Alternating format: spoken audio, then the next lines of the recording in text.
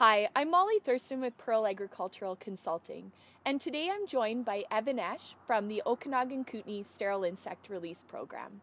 Today, Evan and I are going to be talking about the biology and management of codling moth, which is a significant pest of pome fruit in the Okanagan Valley. Both apples and pears are affected by this insect pest. We will also be discussing how to use the BC-DAS system to predict the emergence of codling moth from their overwintering stage as a full-grown larva on the trees. Codling moths spend the winter in cocoons on the trunks of apple and pear trees. They can spin their cocoons up in apple bins, or they can be on cut down wood from infested apple orchards or prunings. In the springtime, Moths emerge from these cocoons and start to fly typically in May, depending where you are in the valley. If the moths mate successfully, the females will lay eggs on the leaves and fruitlets of your apple and pear trees. 10 to 14 days later, these eggs will hatch and tunnel into the fruitlets, where they feed on the nutritious seeds of the developing fruit. Once the larvae completes its development inside the fruit, it will leave the fruit and emerge later that year or again the following season. Once the larvae are inside the fruit, it's very difficult for them to be targeted by insecticides. So in order to control this pest, it is critical to get the eggs or young larvae before they enter your fruit and before damage occurs. Pheromone traps are an important tool for monitoring codling moth populations. The pheromone traps the SIR program hangs in your orchards monitor the number of sterile and wild insects that are flying in your orchard. Sterile insects are marked with a red dye that shows up internally when they're squished. Wild moths don't have this dye inside them, and when they're squished, they turn green. The number of wild moths that we catch in your traps indicates the size of a codling moth population in your orchard. However, traps aren't the best tool for telling us when to spray. Instead, the BC DAS system degree day models indicate the best time for targeting eggs and young larvae with insecticides. Codling moths have two to three generations each year, depending on the year. However, controlling the first codling moth generation is the most important because if this population is unchecked, it can grow very rapidly, especially in hot years. Each generation has a flight period that can last up to six weeks. Depending upon the size of the codling moth population in your orchard, growers may need to keep their fruit covered with a protective residue of pesticides for an entire generation. If a grower has a smaller population, one or two well-timed sprays may be enough to control this pest. If a grower has a low codling moth population, the sterile insects released by the SIR program should be enough to keep the pest under control. Pheromone traps are an important way to monitor codling moth populations. However, like every tool, they are not perfect. There are situations where codling moths can cause damage to your orchard and they will not be caught in your trap.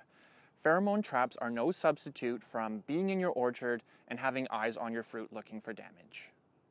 Mating disruption is another tool that complements sterile insect release. These two tools work complementary to interrupt codling moth mating. If you want to use mating disruption in your orchard, please contact the SIR program for pest management recommendations. Organic growers have fewer tools to control codling moth than conventional growers.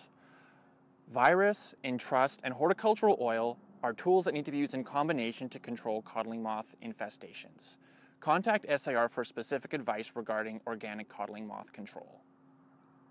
The goal of the SIR program is to support local apple and pear growers to manage codling moth with fewer pesticides. If you have any questions or concerns about codling moth in your orchard or in your neighborhood, contact the SIR program through our website or through your local SIR supervisor. The BC DAS model for codling moth predicts the emergence of adult moths, including egg-laying females. Within the BC DAS model, the cumulative percentage of adult emergence, along with egg-laying females, is shown for the past 8 days as well as the next 42 days. It's critical that growers go out and monitor their orchards looking for any signs of codling moth stings or damage. Growers should be watching the codling moth model on BC DAS looking for the degree days that signal the start of the egg laying period at 230 degree days. As mentioned by Evan, the peak egg laying will occur between 300 and 500 degree days. It's critical that growers are covered during this time, particularly those with a high population of codling moth. There are a number of management recommendations provided by the BC DAS system. The management recommendations are separated into two categories. Management for pesticide applications under an SIR model, such as what we have here in the Okanagan Valley, and management for SIR plus mating disruption when growers are using both tools in their orchard.